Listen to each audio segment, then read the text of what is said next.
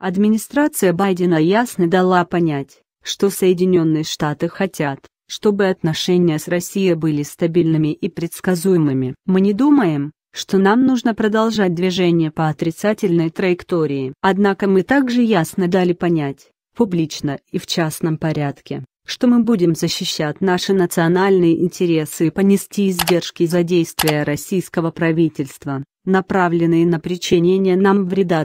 Сегодня администрация Байдена принимает меры, чтобы возложить на Россию издержки за действия ее правительства и спецслужб против суверенитета и интересов США. Введение дополнительных санкций казначейство наложило санкции на 32 юридических и физических лиц, осуществляющих направленные правительством России попытки повлиять на президентские выборы в США в 2020 году, а также другие акты дезинформации и вмешательства. Эта акция направлена на то, чтобы сорвать скоординированные усилия российских официальных лиц, доверенных лиц и спецслужб по делегитимации нашего избирательного процесса. Правительство США продолжит преследование тех, кто занимается такой деятельностью.